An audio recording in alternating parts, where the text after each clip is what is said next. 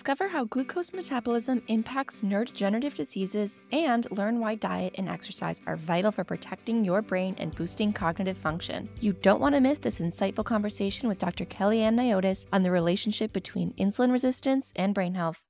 Essentially, there is this very strong link between diabetes or insulin resistance and brain health. And we do know that in all different neurodegenerative diseases, the brain starts to utilize glucose differently or metabolize glucose differently in different patterns. Um, so, in Alzheimer's disease, for example, we really see changes in the way glucose is metabolized in a part of the brain called the temporal lobe, as well as the parietal lobe. Whereas in Lewy body dementia, we really see changes to the way glucose is metabolized in a part of the brain called the parietal lobe and the occipital lobe. And what's really happening is the brain doesn't have much room to store fuel or substrate. It really has to take up fuel in the form of glucose, which is its preferred method of or preferred food peripherally. And we have lots of insulin receptors in our brain that help our brain metabolize and take up glucose for very important cognitive processes what happens in Alzheimer's disease is we see a change in the way the brain starts uptaking insulin or regulating insulin signaling and uptaking glucose. And that causes eventual death of the brain cells in those particular regions.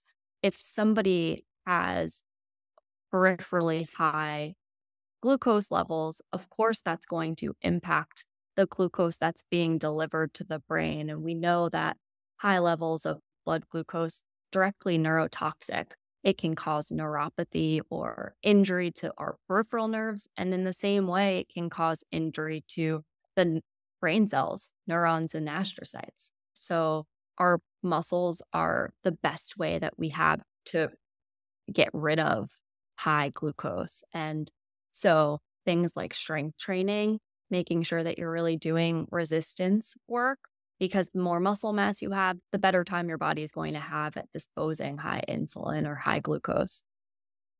Also, when you exercise, you're really utilizing up that circulating high glucose levels. Your muscles love to take up glucose. So, if you're doing cardio exercise, that's going to really, really help reduce what's circulating. And over time, your body can adjust and hopefully reduce the insulin resistance, requiring less insulin to be pumped out to get your blood sugar down to the level that's healthy.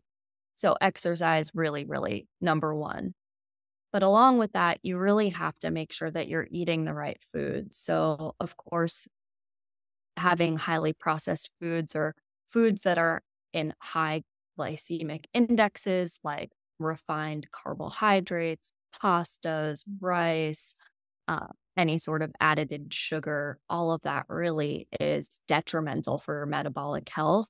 It can really lead to issues with accumulating fat around your organs, which is called visceral fat. And we understand that it's not the aesthetic fat or the fat that lives subcutaneously, the fat that we all care about, the way that we look. It's really this fat that's surrounding our organs that is really metabolically unhealthy and secretes a lot of inflammatory chemicals that can impact the brain, can cause brain atrophy, and can impact your cognition. Diet and exercise is everything. We hope you enjoyed this video. To access a free Mastering Brain Health course led by Dr. Richard Isaacson, visit ind.org/learn. And to directly contribute to IND's research efforts, visit ind.org/donate.